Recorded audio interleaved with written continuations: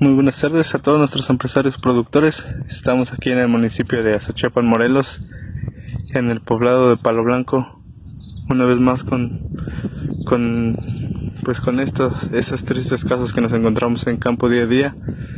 Este es el cultivo de cebollín.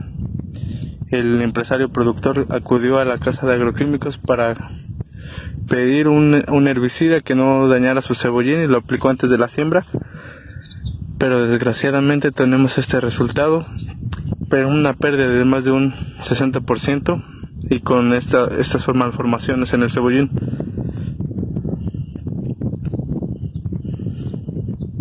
Vean, todo esto definitivamente ya no, ya no sirve.